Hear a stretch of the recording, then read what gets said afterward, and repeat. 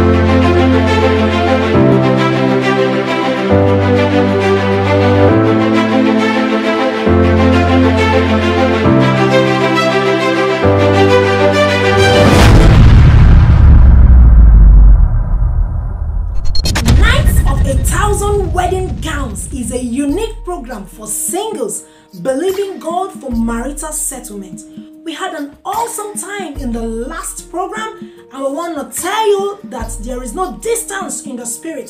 Wherever you are in the world, connect to this program. We have testimonies of deliverances and disconnection from bondages. Yes, that's very correct.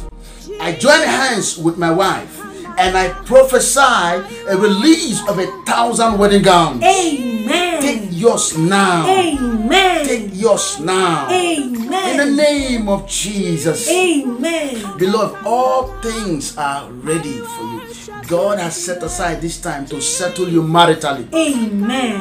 I want you to rush the link to this video, click the link, and join in the program now. Amen. See you there.